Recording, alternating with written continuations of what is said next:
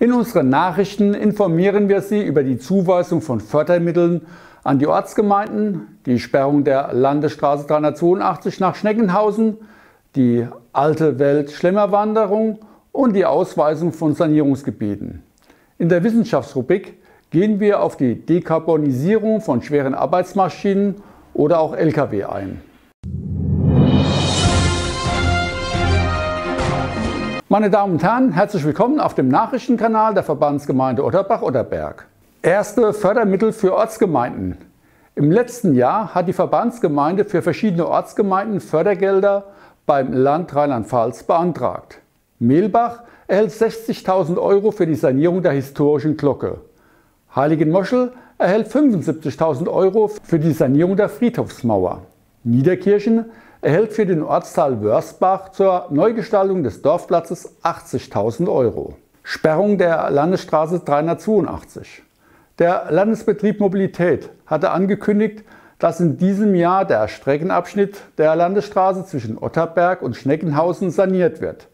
Die Planungen dazu laufen. Mit der Sperrung ist frühestens im August 2022 zu rechnen.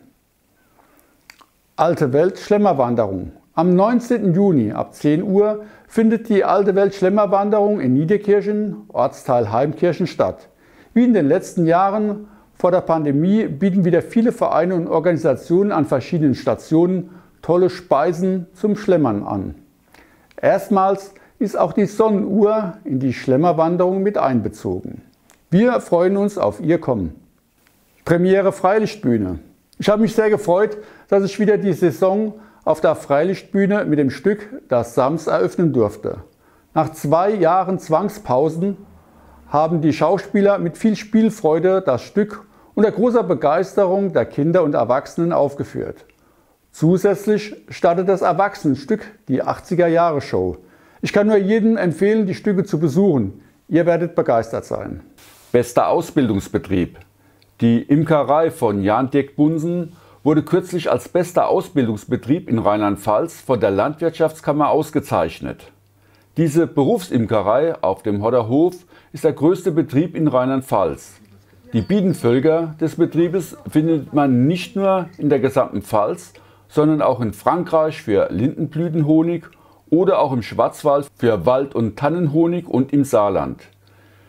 Wir gratulieren herzlich zu dem Erfolg und sind stolz, einen so erfolgreichen Betrieb bei uns zu haben, der unsere Region mit einem gesunden und nachhaltigen Lebensmittel versorgt. Ausweisung von Sanierungsgebieten. Für die Ortsgemeinden liegen nun die Beschlussvorlagen für Satzungen zur Ausweisung von Sanierungsgebieten vor. Die ersten Ortsgemeinden, wie zum Beispiel Frankelbach, haben dazu nun den Satzungsbeschluss getroffen. Wenn Sie innerhalb des Sanierungsgebietes Modernisierungs- und Instandsetzungsmaßnahmen an Ihrem Gebäude planen, stehen Ihnen die Möglichkeit der steuerlichen erhöhten Abschreibung zur Verfügung. Wie kommen Sie nun in den Genuss dieser steuerlichen Abschreibungsmöglichkeiten? Erstens. Teilen Sie der Verbandsgemeinde vor Maßnahmenbeginn Ihr geplantes Vorhaben mit. Zweitens. Der Sanierungsberater erörtert mit Ihnen das Vorhaben und prüft, ob die Ziele der Sanierung eingehalten werden und die prinzipielle Bescheinigungsfähigkeit der Maßnahme vorliegt. Drittens. Auf Grundlage eines abgestimmten Entwurfs und einer Kostenschätzung wird eine Modernisierungs- und Instandsetzungsvereinbarung mit der Ortsgemeinde abgeschlossen. Viertens, ganz wichtig, erst danach darf mit der Maßnahme begonnen werden. Fünftens, nach Fertigstellung und Prüfung der Baumaßnahme erfolgt die steuerliche Bescheinigung durch die Ortsgemeinde zur Vorlage beim zuständigen Finanzamt. Hier noch unsere Wissenschaftsrubrik. Dekarbonisierung des Schwerlasttransports bzw. von Agrarfahrzeugen.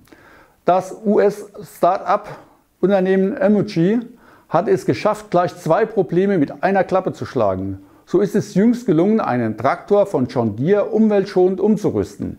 Der Traktor fährt in Zukunft mit Gülle. Genauer gesagt nutzt das Unternehmen das klimaschädliche Gas Ammoniak, das beim Vermischen von Gülle und Kot entsteht und treibt damit eine Brennstoffzelle an. Diese wiederum gibt genügend Energie frei, um schwere Maschinen wie den erfolgreich umgerüsteten Traktor einen ganzen Tag lang zu betreiben. Amochi hat ein Modul entwickelt, das auch in anderen schweren Arbeitsmaschinen in Zukunft eingesetzt werden kann. Insgesamt kann das System eine Leistung von 100 Kilowatt realisieren. Der Ammoniaktank fasst 230 Liter. Bei dem umgerüsteten und fortan klimaneutralen John Deere Traktor handelt es sich um ein mittelschweres Gerät.